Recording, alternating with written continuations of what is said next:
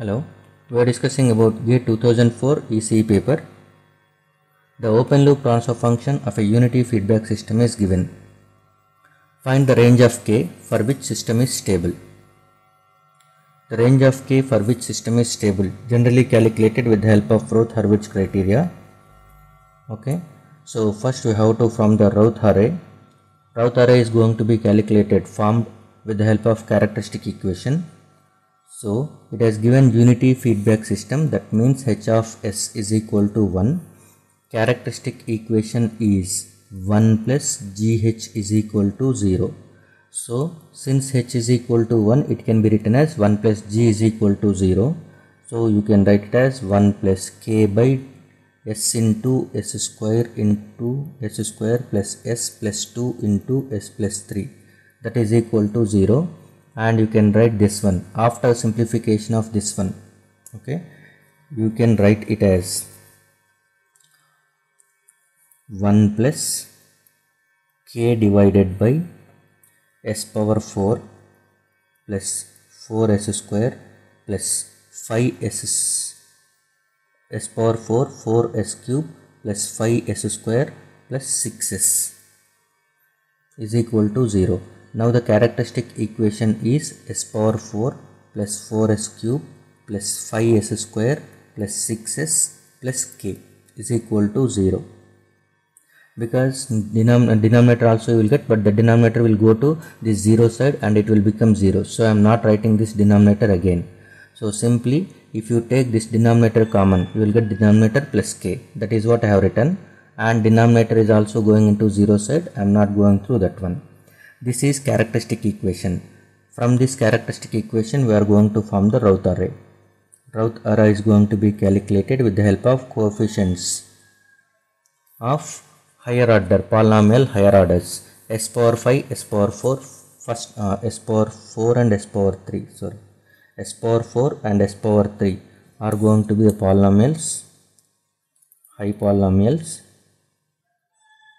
s power 4 s power 3 so write the coefficients 1, 4, 5, 6 and k. Next s power 2. 4 into 5 is 20. 20 minus you are going in this way. First you will go for the multiplication of this one minus next you will go for the multiplication of these two things. 20 minus 6 is 14 divided by this 4. So 14 by 4 is 3.5 next 4 into k and you will assume here it is 0 0 into 1 4 into k like this you will go 4k minus 0 divided by 4 that is k itself. Next s power 1 3.5 into 6 that is 21 minus 4k divided by 3.5 and s power 0 s power 0 means k itself you will get. This is 0 term you will get. This into k minus 0 divided by this one. So you will get k only. So now for stability.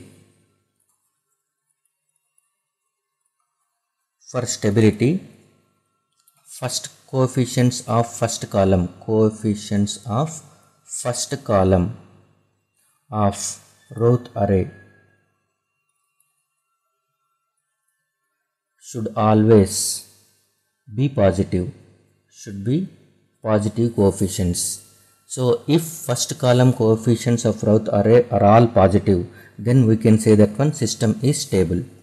So for that one we are going for this one. S power 4 is positive because it is a constant 1 s power 3 is also positive because it's a constant which is 4 next we are going for the s power 2 that is also positive because it is 3.5 next s power 1 if it has to be positive the term is consisting of k so you are writing 21 minus 4k divided by 3.5 should be greater than 0 that means 21 minus 4k should be greater than 0 so you can write it as 21 should be greater than 4k so 21 by 4 should be greater than k.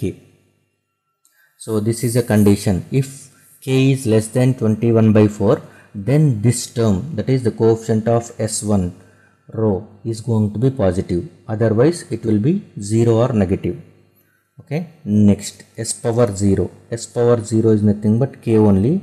If it has to be positive k must be greater than 0 so from